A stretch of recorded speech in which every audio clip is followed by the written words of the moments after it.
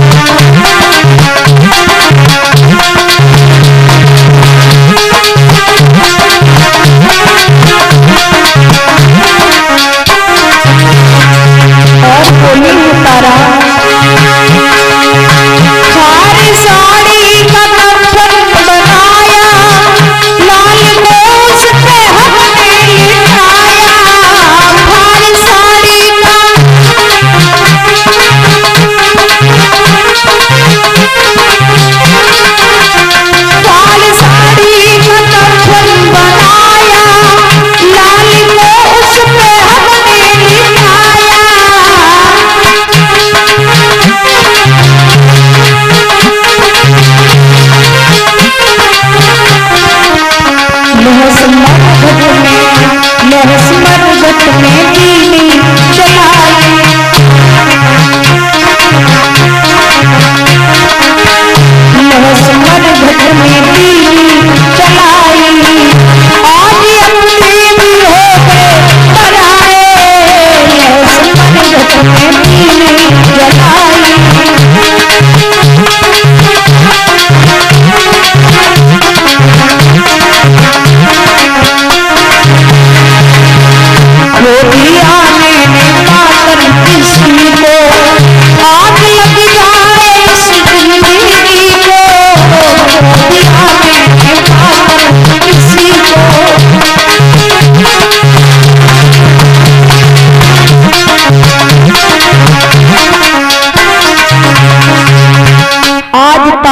जवाब दिया हमारा पुत्र नहीं मिलेगा क्योंकि मैंने उस पुत्र को दफना दिया है। विश्वामित्र बोले हैं, तारा, तुम चिंता मत करो। तुम्हारा पुत्र मरा नहीं, तुम्हारा पुत्र ज़िंदा है। वरुण देव की गोद में खेल रहा है। तारा ने आवाज़ लगाई तो पुत्र रोहित माँ के पास में पहुँचा। रोहित को पूछा, बेटा, तुम कैसे ज़िंदा रहे? बताया है कि हे माँ, वरुण देव ने अपनी गोद में मुझे बिठाला। क्यों?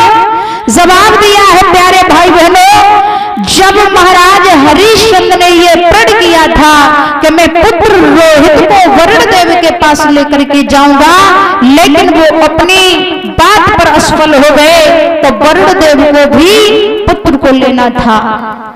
महाराज विश्वामित्र ने जाकर के बच्चों के प्राण बचाए थे, लेकिन विश्वामित्र ने वरुण देव से एक बात कही थी कि आप चिंता मत करिए, एक बार इस पुत्र को लेकर के मैं आपके पास आऊँगा, उसके बाद को मार देना या छोड़ देना आपकी इच्छा की बात है।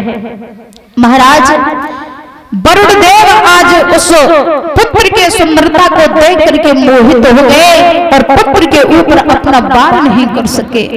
पुत्र रोहतास वापस लौट करके आया।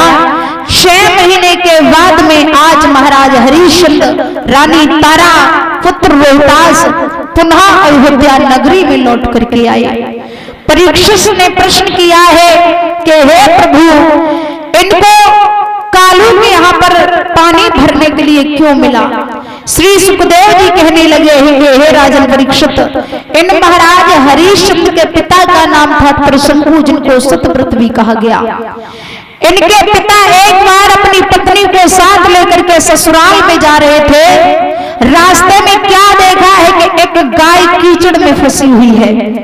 गाय जो थी, महाराज हरिश्चंद्र के पिता से बोली कि महाराज, मुझे कीचड़ से निकाल लीजिए। लेकिन त्रिशंकु महाराज बड़े अभिमानी थे। उन्होंने गाय को निकाला नहीं, बल्कि गाय की पीठ पर पैर रख करके कीचड़ से उस पार हुए हैं। गाय ने श्राप दिया कि आप अपनी ससुराल में जाओगे और अन्न जल ग्रहण कर लोगे तो तुम मानव से गधा हो जाओगे। महाराज त्रिशंकु जो थे पशुओं की भाषा को समझते थे। हे माँ, जब मैं वहाँ जाकर के गधा हो जाऊँगा, फिर मैं पुनः मानव कैसे होऊँगा? कहा है कि अगर आपके ऊपर कोई पतिव्रता पत्नी जल डाल देगी तो तुम पुनः मानव हो जाओगे। ससुराल में पहुँचे अन्न जल ग्रहण किया और जैसे ही अन्न जल ग्रहण किया